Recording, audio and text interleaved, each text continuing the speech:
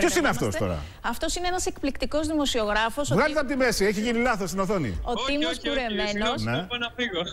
που είναι η σύνδεσή μας με το μέλλον. Διότι ο Τίμος είναι δημοσιογράφος νέων τεχνολογιών. Βρίσκεται Ναι. στη Βαρκελόνη, σωστά Τίμο, έτσι; Σε μία από τις Ακριβώς, μεγαλύτερες ακριβώς. εκθέσεις. Για πες μας που βρίσκεσαι και γιατί έχεις πάει εκεί. Λοιπόν, ε, βρίσκομαι στο Mobile World Congress ε, στη Βαρκελόνη. Εδώ πέρα στην έκθεση που γίνεται κάθε χρόνο. Και εδώ πέρα παρουσιάζονται όλες τι νέες τάσει τόσο της τεχνολογίας όσο και των κινητών και όλο όσο θα δούμε στο μέλλον, ας πούμε. Δηλαδή, παράδειγμα, ε, κύριε Κουρεμένε, Παράδειγμα, κύριε, κύριε Χαριτάκο, Κουρεμένε και αξίριστε, παράδειγμα. Ε, Έτσι. Παρά, παράδειγμα, γρήγορες ταχύτητες στο ίντερνετ. Φαντάσου από όπου και αν βρίσκεσαι. Δηλαδή 5G, όπως λέγεται πλέον. Και θα έρθει και αυτό μέσα στη ζωή μας σιγά σιγά μέχρι το 2020 στην Ελλάδα. Θα το δούμε και αυτό να έρχεται. Α, ε, δεν θα σου πω πρακτικά τι θα σου κάνει αυτό το 5G. ας Ναι, πούμε. γιατί Τίμο δεν καταλαβαίνουμε πολύ το 5G. Όταν διαβάζοντας, μάλλον καταλαβαίνεις περί τίνος πρόκειται. Για πες μας λίγο στην ιατρική, ας πούμε, που θα μπορούσε να βοηθήσει. Λοιπόν, τώρα ας πούμε για παράδειγμα έχει μια επίδειξη μια εταιρεία ε, για το 5G όπου δείχνει remote απομακρυσμένη χειρουργική. Ε, αυτό σημαίνει ότι ένας γιατρός μπορεί να βρίσκεται στη μία άκρη του κόσμου, ο ασθενής να βρίσκεται στην άλλη άκρη του κόσμου και ε, απομακρυσμένα να μπορεί να ε, εκπληρώνει και να ολοκληρώνει την εγχείρηση που κάνει στον ασθενή. Είσαι Αυτό σίγουρος, επίσης- Τίμο.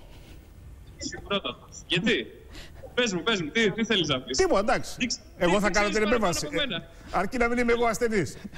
Χιούμορ Ε, κάνω. εντάξει. Προφανώς κάτι ξέρουν οι ειδικοί επιστήμονε. Ε, ε, Ναι. Κά, κάτι ξέρουν ε, εδώ πέρα τα παιδιά που λες.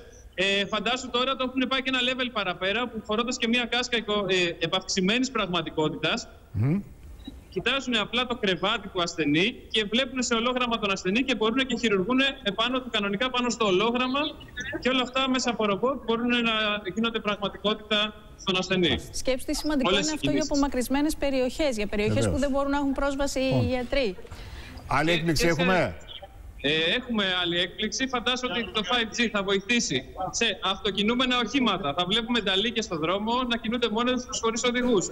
Ναι. Ε, αυτο, αυτοκινούμενα drones θα κυκλοφορούν ε, παντού. Ε, χωρίς, ε, τίποτα, χωρίς κάποια ιδιαίτερη ανθρώπινη, ε, ανθρώπινο χειρισμό. Επίσης, θα μπορείς να έχεις την εικονική πραγματικότητα άμεσα όπου και αν βρίσκεσαι.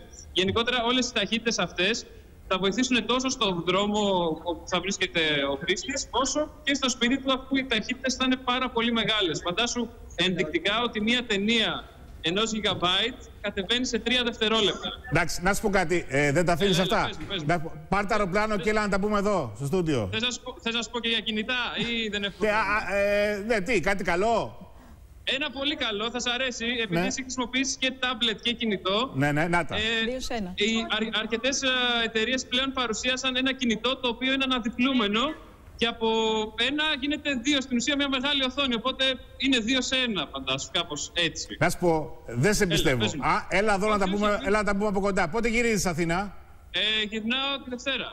Ωραία. Ωραία. Θα τα πούμε Κυριακή.